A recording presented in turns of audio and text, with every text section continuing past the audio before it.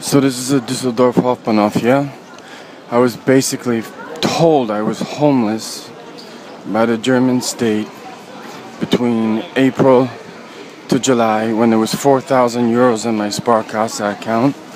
Why was that? To make me totally exhausted so they could steal all the information from SAP, Sky, Commerzbank, and AOK and all the political documents that have fuck all to do with me but I'm now being terrorized by Scottish rednecks all over Germany and rednecks here, sending police after me all over the place, yeah?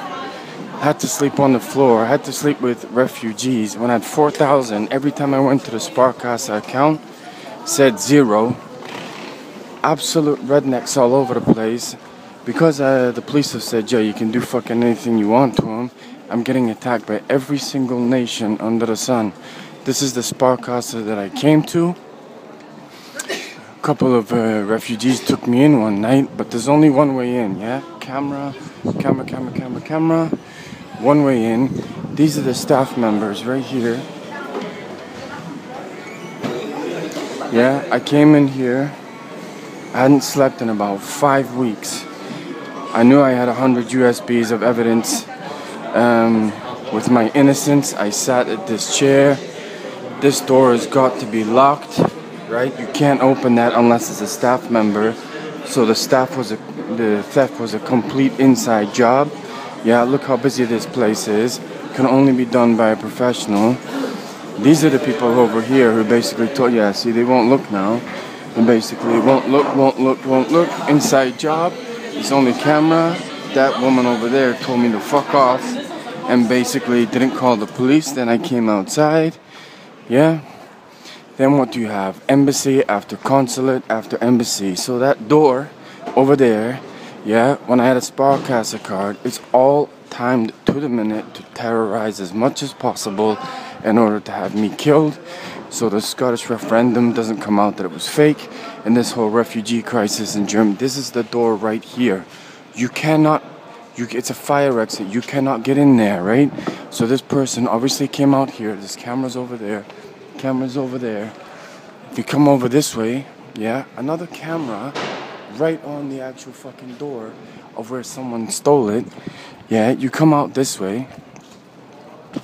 Everybody knows what's going on. Yeah, duck your head so you, you're not on camera. These two nations stole my life in fucking Canada and are now terrorizing me to death. Can't get job center. There's another camera. Look how many cameras are everywhere. Another camera police I basically stole my yeah everybody knows. I'll duck your head now. Stole my information so I would have to go to Diakonie where this guy would then fucking terrorize me steal all my information give all the information back to the uh, and the police are right here yeah? They stand outside the embassy. It's unfucking believable. Unbelievable. So I'm just like walking around here. Yeah and you have the consulate so then we come back over here yeah? And the other thing is is when I was brought to Dusseldorf oh my god you're Snowden you're this you're that told to come over here by Meerbusch which I showed you a picture of yeah? This is Dusseldorf I did everything and no crimes to my name. Germany and that shithole Schottland is fucking constructed one of the most evil twisted attacks on a human being, possibly in human history, all coordinated by the police. Yeah, I can't get access to any European money that is legal. I've been in here numerous times. I've been in here. Volksschule denied me stat. I just want to show you one place. Yeah, the whole thing was a fucking setup from start to finish, minute by minute, timed to terrorize one person as much as possible. So calls from the Dusseldorf police, the Hanover police, all set me up to go to Diakonie, which is run by the German church. And they steal my fucking prescriptions, steal my money, empty my bank account, whole thing upset to terrorize. So I go have to go back and do this thing all over again. Four terabyte of evidence of me being terrorized all over the Western world, stolen by the German police. Yeah? So I come over here. I'm doing what I'm supposed to be told, yeah? Bearing in mind we're next to all these embassies and everything, yeah? And they lie their fucking ass off. Couldn't give a shit if, um, and told to come here, yeah? Told to come here. So I've done absolutely nothing to no one. I'm sat in Bank of Montreal while they're constructing this fucking death wish in 2013, faking everything while Germany's preparing to do a five year lie of this refugee shit, all the refugees are still in tin cans.